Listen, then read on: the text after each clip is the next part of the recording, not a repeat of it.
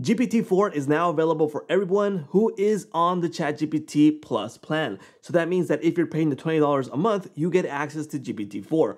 Now, I'm going to run some tests for you here on ChatGPT with GPT-4, and basically I'm going to tell you that it's not as impressive as I thought. So, let's go check this out. Okay, so GPT-4 is officially out and you can use it right now on ChatGPT if you are on the Plus plan. Now, like I mentioned before, I don't find it as interesting as I thought it would be because I don't get the outputs that I'm getting promised over here on the document that I've read here. So on all the information that's available on GPT-4 that says there's a lot of input that it's gonna work with and it's more smarter, well, it's not like that. So first of all, I'm here on the model GPT-4 and I made it a really simple question. What is the latest information we have on GPT-4? So why am I asking am I asking this? Because GPT-3 and GPT 3.5 is based on obviously 2021. So right now it's 2023, so it doesn't have the latest information. So I would think that GPT-4 would have it, but it doesn't even know it's on GPT-4 format. So it thinks it's an AI model and I am on GPT-3. So that's kind of strange since I've selected GPT-4. That's a really drawback. Okay, now more tests that I've run that I find that it's lacking is this. So for example, GPT-4 um, says that it's going to be smarter. It has advanced reasoning capabilities and we get a really beautiful output here. You can see this here. And for GPT-4 also we get this really great output. So I'm going to put it to the test. We want this same input in GPT-4. So we have the option to select this. And you can see GPT-4 is obviously better reasoning, lower speed, it is slower, and conciseness. Okay, so let me put in the same message.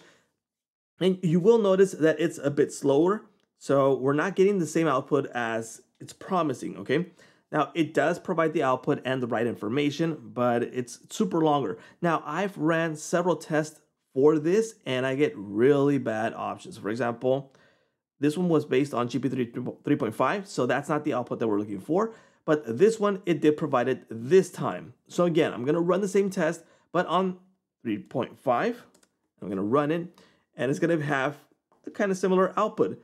So I don't see a lot of difference between one and the other.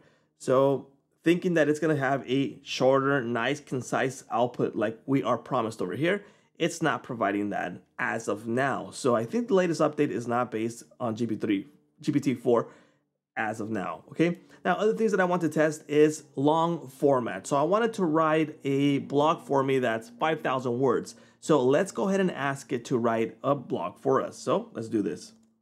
Okay, so I'm going to tell it to write a 5,000 word blog based on the latest news that it has of World War II. Now I'm making it easy for it. It shouldn't be hard. And again, I'm going to select GPT-3, GPT four and I'm gonna do it. Now be aware that right now there's a cap on how many times you can use this. So for example, if there's a hundred question cap every four hours as of now. Why? Because they don't wanna mess with the servers. Okay, so let's wait for this to finish because it is, it is way slower as of now.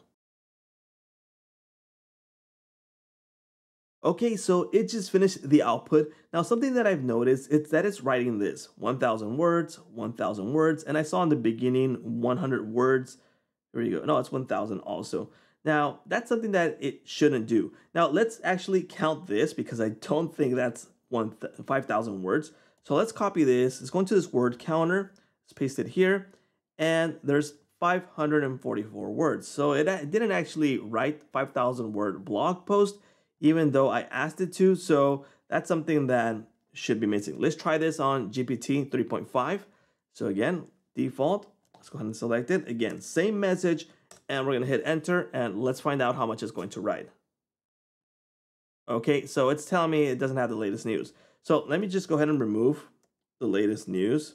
Okay, based on World War II. Let's try it this way. So let's wait for it to finish and see how many words it actually wrote. Okay, so it just finished. Let's go ahead and grab this text that it wrote and let's find out. The other one was 544 words. Let me clean this up. There we go. Let's add it. And this one is 617 words. So it even wrote a bit more than GPT-4. So it's not providing the output that we would like as of now. Now, things that I do find interesting about GPT-4 is their capability to be more factual. So when you ask it something, it's going to be more factual than it was on GPT 3.5. So that's really, really good. And something that I found is that it's been more creativity, visual input. So as of now, obviously we don't have access to API, but when we do, we can load an image and we can ask it things. And here's an example. What can I make with these ingredients? And obviously there's flour, there's eggs, and so the milk and it's going to give you an output for that recipe. So that's pretty cool, right? And this one is the best thing that I found obviously on GPT-4 and is that we can provide it information that's actual recent, recent and ask it something about it. So here is an example, okay?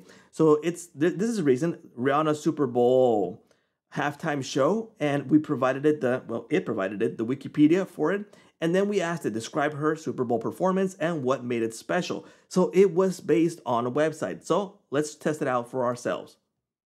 Okay, so here's a quick, quick test I'm running. So something happened recently with Silicon Valley Bank. It collapsed and this is the latest news. So this is today's March 14th and I'm testing the March 14th um, news article and I'm telling it to grab the information from there. And I'm asking it, describe what happened to this bank. So, oh, by the way, let me go ahead and start it in a new chat and select GPT-4.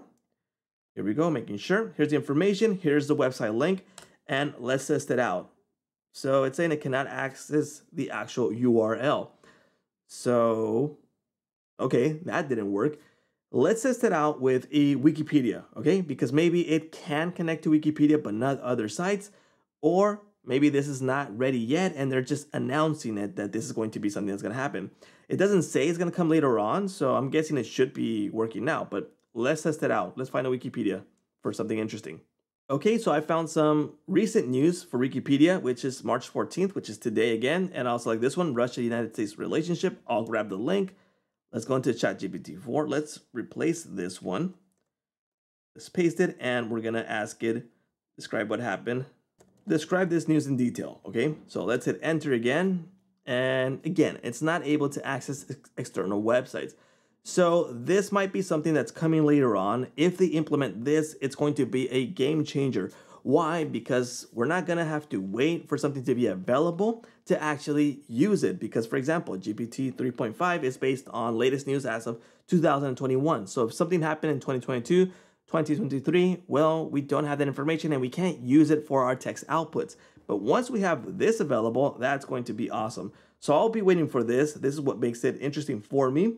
And basically, that is GPT-4. Again, it's not as great as I thought it would be once it launched. Basically, there's no big difference between GPT 3.5 and 4. So test it out for yourself. Let me know what you think in the comments.